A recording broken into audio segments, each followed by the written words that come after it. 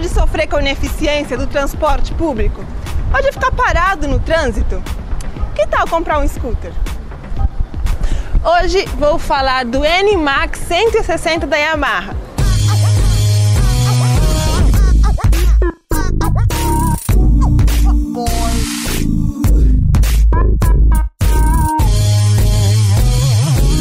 Se você é novo por aqui, já se inscreve. Este é o canal de moto mais charmoso do Brasil e tem conteúdo para homens e mulheres apaixonados por moto. Tem também uma playlist exclusiva para iniciantes. Então, se você está iniciando no mundo das duas rodas, clica aqui no card ou na descrição deste vídeo para fazer parte dessa playlist exclusiva para você. Agora, vou te mostrar como fugir do trânsito. Vem na minha garupa!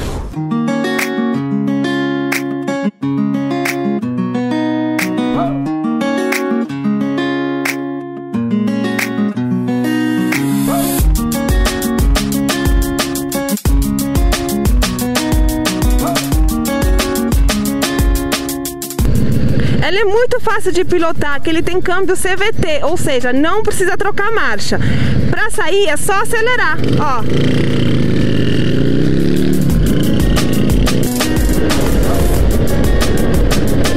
É um scooter ágil, né?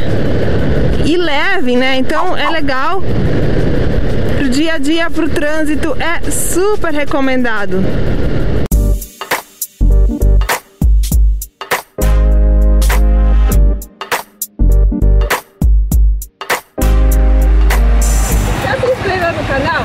Aproveita e deixa o like.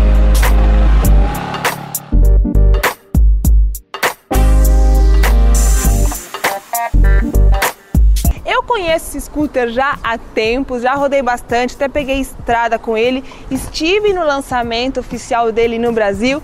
Se você não assistiu, clica aqui no card ou quando acabar esse vídeo, vai na descrição e assiste, beleza? O motor do Animax é mais potente que o do PCX, tanto em cavalos quanto em torque, mas calma que este vídeo não é um comparativo entre o PCX e o Animax. Se você quer um vídeo exclusivo comparando o PCX e o Animax e minha opinião de qual que eu prefiro, escreve aqui nos comentários a hashtag comparativo Animax. Escreve agora que aí eu consigo saber se você quer esse vídeo. A Mariana comentou nas redes sociais que o Animax ela vibrava e queria saber o que eu achava disso.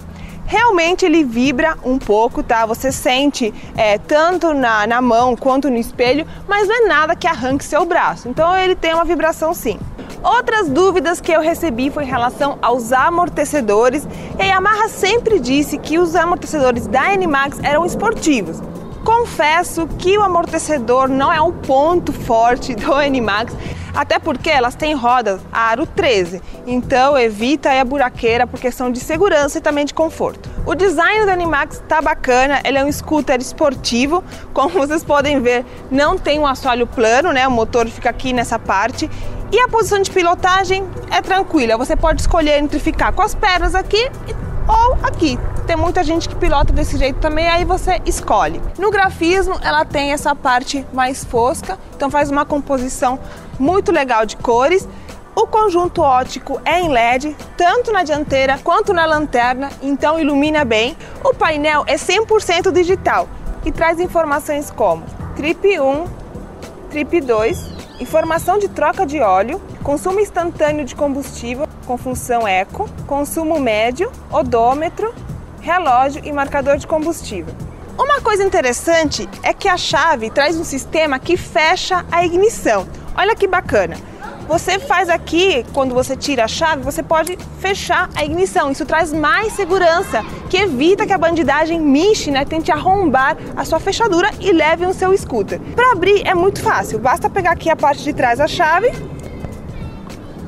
e encaixar. Para abrir o banco é muito fácil, você gira ao contrário da ignição e ele já faz o cleco.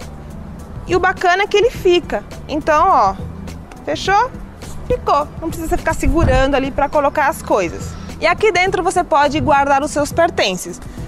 Além, claro, de instalar o baúzinho no N-Max. O Arthur me perguntou se eu bato o joelho no N-Max. Não, Arthur, olha, como você pode ver, tem um espaço aqui confortável. Eu tenho 1,77 de altura, então para mim deu ok.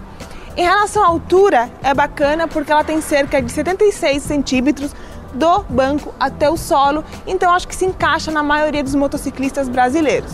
Os freios, gente, é o grande diferencial, na minha opinião, do NMAX, que além de trazer freios a disco nas duas rodas, eles têm sistema antitravamento ABS nas duas rodas então, performance. Eu acho que é um scooter leve, fácil de guiar, com altura muito boa, que se encaixa bem aí na maioria dos brasileiros. Então, ponto positivo para ele.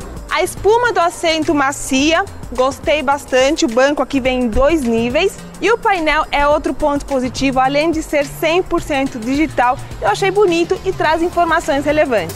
Faltou uma tomada aí para carregar o celular seja aquela tomadinha que você encaixa o adaptador ou diretamente USB.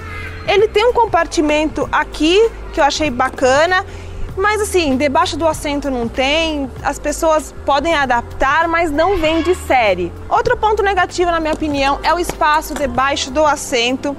É, cabe um capacete? Cabe, mas assim, tem outros scooters com uma capacidade maior. Capacete fechado só coube se virado ao contrário. Isso é ruim, porque estraga o capacete. Então acaba sendo um ponto negativo para o NMAX. E o último item é o assento do garupa, que é a posição que ele fica, né, da pedaleira.